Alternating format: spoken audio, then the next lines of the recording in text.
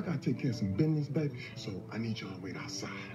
Dwayne Elizondo Camacho, five-time Ultimate SmackDown champion, porn superstar, and President of the United States, had called a special summit with the smartest man in the world.